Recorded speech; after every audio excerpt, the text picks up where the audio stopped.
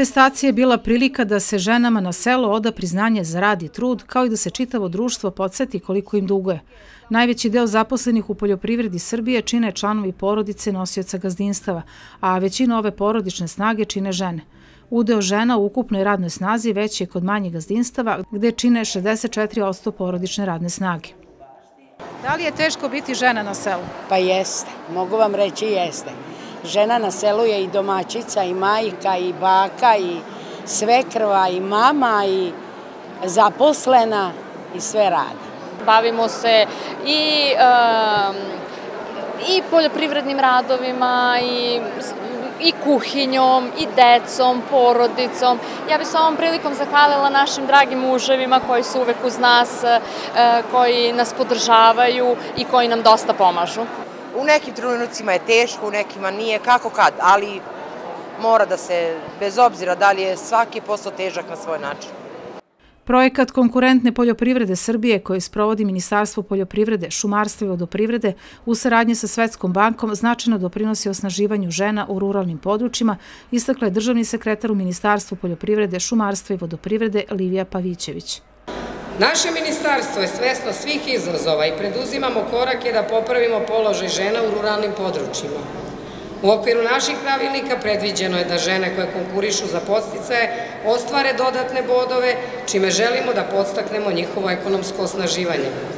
Na raspolaganju je oko 40 pravilnika koji pokrivaju svaki deo poljoprivredne proizvodnje. Žene se češće pronalaze u oblastima organske proizvodnje, plasteničke proizvodnje, povrća i cveća, prerade poljoprivrednih proizvoda na gazdinstvu, pčelarstva i sličnim granama kao i seoskog turizma. Ženama je omogućen i olakšani pristup izvorima finansirane i povoljni uslovi za kreditnu podršku. Ovi inače najpovoljniji krediti za poljoprivrednike na tržištu još su povoljniji kada je nosilac gazdinstva ženskog pola i u tom slučaju kamatna stopa iznosi samo 1%. Projekat konkurentne poljoprivrede Srbije, koji sprovodimo u saradnji sa Svetskom bankom, značajno doprinosi osnaživanju žena u ruralnim područjima.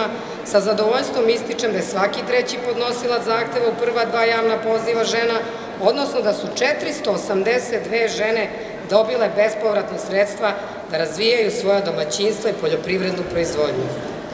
Veliku podršku ženama na selu dajemo i kroz IPART program, gde od 1136 korisnika, čak 38% žena, odnosno 479 njih je konkurisalo i dobilo našu podršku.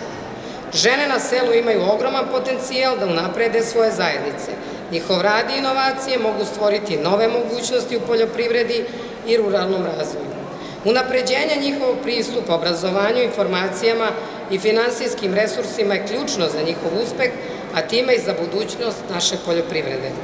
Ministarstvo poljoprivrede ostaje posvećeno stvaranju uslova za ravnopravan i pravičan pristup svim ženama na selu, a posebno onim koje preduzetnički duh nosi napred. Veliko mi je zadovoljstvo što država prepoznaje potrebu da se poveća to učešće ženskog nežnijeg pola i to se može vidjeti primjera radi kroz program Ministarstva recimo privrede od 30 miliona koji je namenjen upravo pomoći svim privrednim malim društvima koje se bave proizvodnje hrane, a čije su upravo osnivači, odnosno vlasnici dame, ali to se može vidjeti i na regionalnom nivou kroz programe privredne komore Šumadije i Pomoravlja, kroz programe koje sprovodi razvojna agencija Šumadije i Pomoravlja i naravno ja mislim da zaista Kragujevac onako od srca se trudi da pomogne i tu se zahvaljujem ovim saradnicima zato što ima rezultata i nas krasi jedna brojka statistička, a to je da prema podacima Agencije za privredne registre u ovom trenutku oko 24 procenata registrovanih poljoprivrednih gazdinstava upravo su registrovane na vlasnike ženskog pola. To nije mali broj, ali to nije ni konačni cilj koji želimo da postignemo.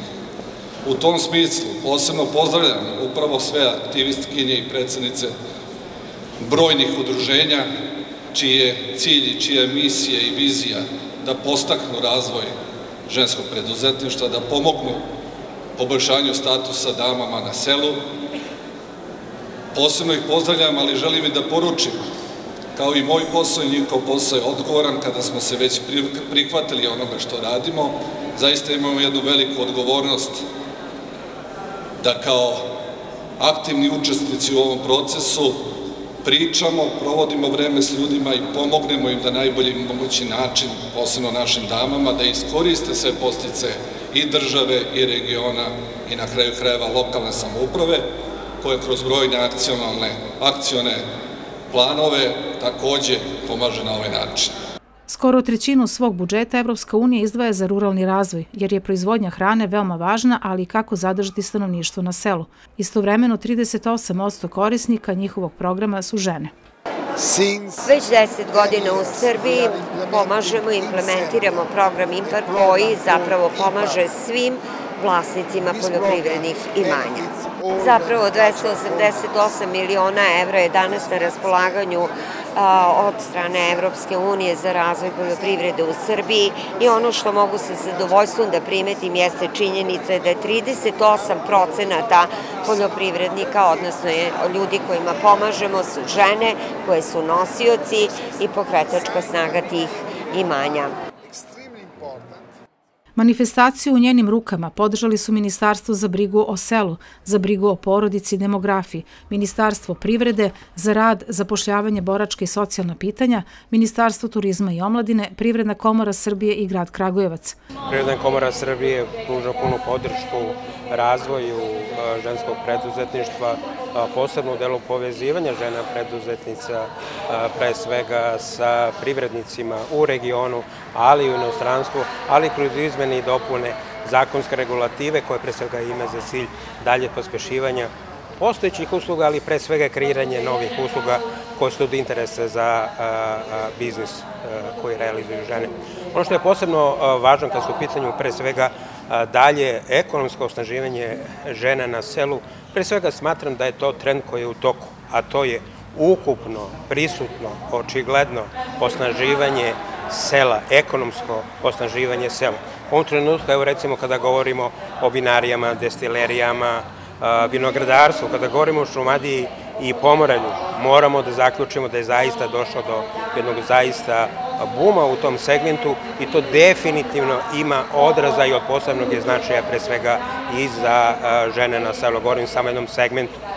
Značajan broj vlasnika, vlasnica destilerija, vinarija na teritoriji Šumadije Pomoralja su žene. Ja bih napomenuo recimo da petina ukupnog izvoza vina prošle godine upravo dolazi sa teritorije Šumadije i Pomoraga. I ono što je dosta upravo rađeno u tom segmentu, kao što je recimo dobijanje e, geografske oznake porekla šumadijske šljivovice, čitav niz aktivnosti koje realizuje vlada Republike Srbije, Privredna komora Srbije na većoj vidljivosti naših proizvoda, a posebno e, prisutstvo na značajnim samima, definitivno ima a kao posledicu mnogo lakši pristup žena preduzetnica, žena na selu, ekonomskom osnaživanju i u tom smislu pre svega mislim da je najznačajniji trenutak on je pre svega, a to je ekonomsko osnaživanje sela koje je trenutno prisutno u Srbiji. Vlada Republike Srbije, naravno na čelu sa našim predsednikom Aleksandrom Vučićem, poslednjih 10, da ne kažem 12 godina, radi na poboljšanju da radi na poboljšanju svih poljoprivrednika i njihovog statusa u našoj zemlji. To se vidi po našem agrarnom budžetu koji je iz godine u godinu sve veći i veći. Što se tiče žena sa sela i žena u, u poljoprivredi. Ministarstvo je otvoreno za saradnju i sarađuje naravno sa svim ovim udruženjima koji, koji, koje ste mogli da vidite ovde, naravno i, i mnogo, mnogo više, mnogo više ženskih udruženja koje danas nisu imala priliku da budu sa nama. Mi imamo oko 40 pravilnika kroz, gde kroz nacionalne mere izvajamo sredstva za apsolutno sve mere u poljoprivredi.